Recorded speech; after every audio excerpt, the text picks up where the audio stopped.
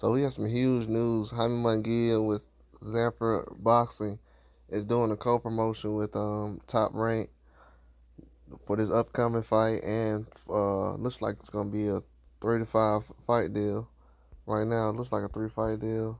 Could be longer, but um, Jaime Munguia is basically going to do business with um Top Rank right now. He's signing on to do a co-promotion with them, and um, it's reported right now that uh, his uh, existing promoter, which is F- Fernando Beltran, who's uh, working with Zanfer Boxing, he's going to be uh, basically helping promote this fight coming up uh, with uh, Eric Bazien. And this is going to be a crazy fight with Jaime Munguia, man. You know, it's very interesting of him having a lot of things coming out of nowhere.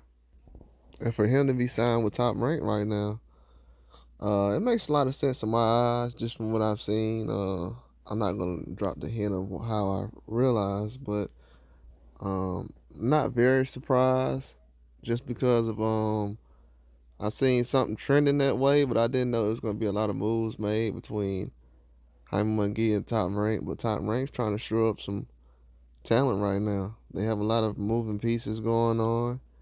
Uh, they're not strong in certain spots where they, they would like to be.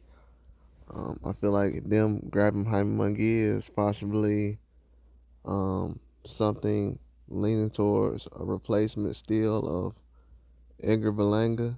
I don't feel like they fully replaced Berlanga, especially the way they was pushing him as the um, top 168 they had. So I feel like they definitely still trying to replace him in that whole situation. But with Jaime Munguia getting a deal with uh, Top Rank, it just shows that they're still collecting talent right now. And I'm not very surprised by it. Looks like for my eyes, man, that Golden Boys um basically, you know, kind of capped out, man, cuz uh Berlanga just came out and um basically said he's going to fight Canelo Alvarez, which all makes sense.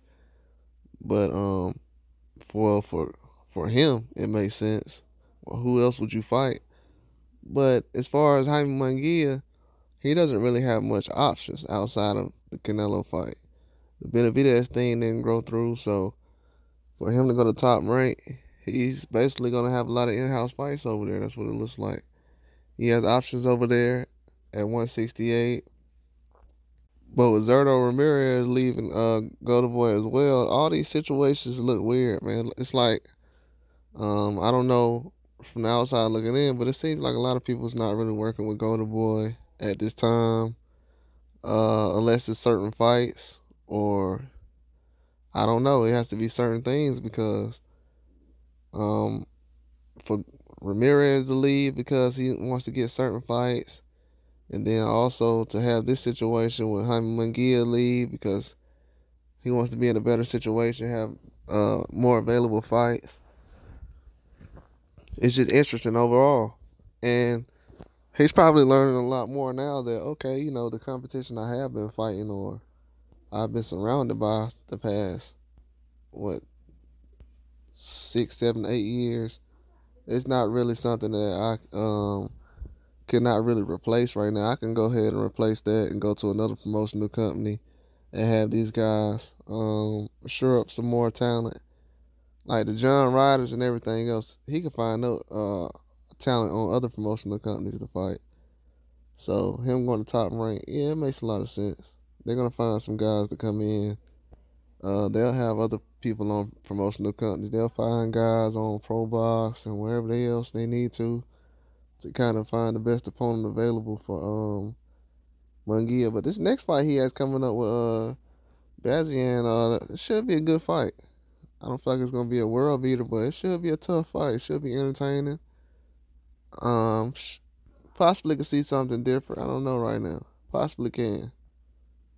But top rank, they're staying busy, man. They're gonna stay uh, sweeping up talent, whether it's talent that's already on other promotional companies or talent that's just coming in to the uh, pro game.